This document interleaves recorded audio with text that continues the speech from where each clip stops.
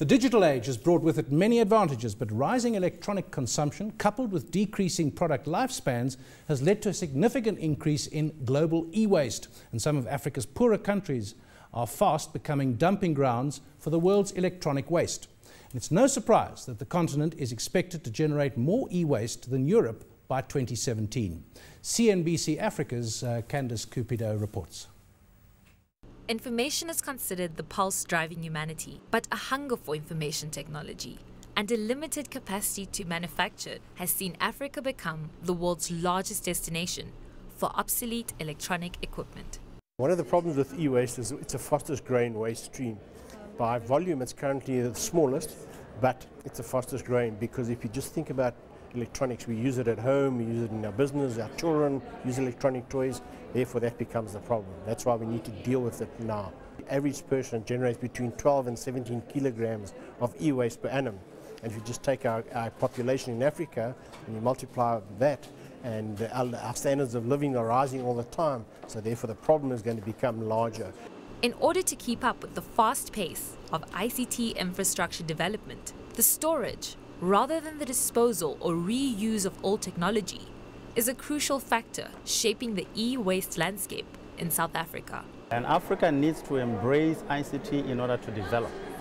But going with that, of course, is the challenge that will arise out of the electronic waste that is generated by that. For Africa at this point in time, we are simply talking about a penetration of 5.7% uh, for the ICT into our countries. Essentially, we are only just at the beginning. So this is going to be a massively growing challenge for Africa in the years to come. Low recycling rates and illegal transboundary movements continue to fuel the proliferation of electronic landfills. Well, it's true that we aren't doing it as well as we can. Um, right now, and it hurts me to say this, but there's not one e-waste recycler that meets international WEEE standards. But we are certainly making progress, and every year we see the standards being raised.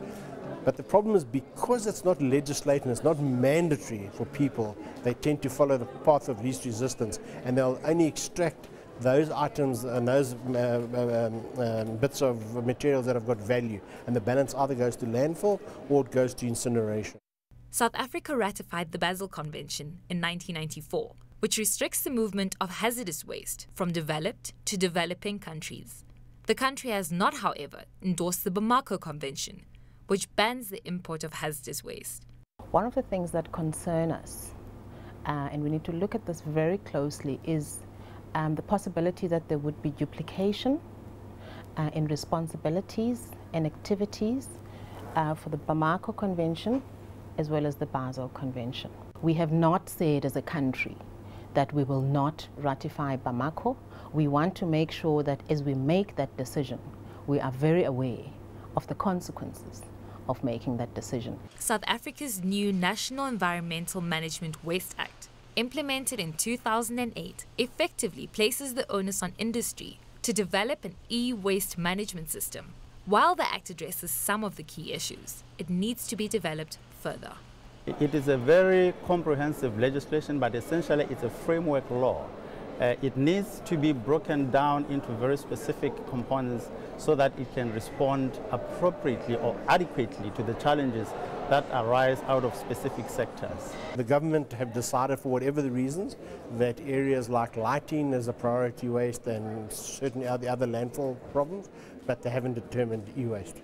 While industry players want faster change, government believes that it is dealing with the problem effectively. I think what I need to just indicate is that e-waste is a new waste stream.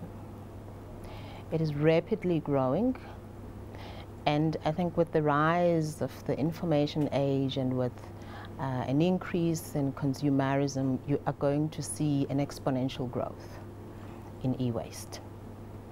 Um, it is a priority not in the sense that the Act defines priority waste. While government and thought leaders grapple to deal with the increased problem of electronic landfill, the consumer appetite for the latest technology and gadgets continue unabated.